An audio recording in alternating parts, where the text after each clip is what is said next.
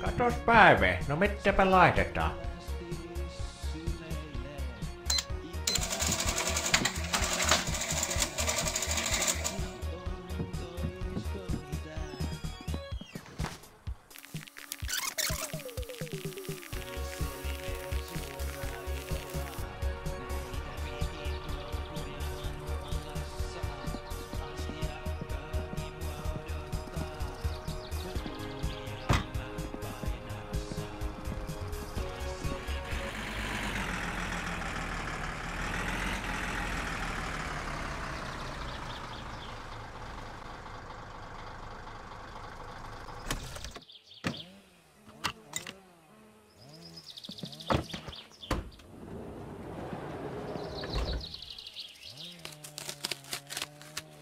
Oi vittu!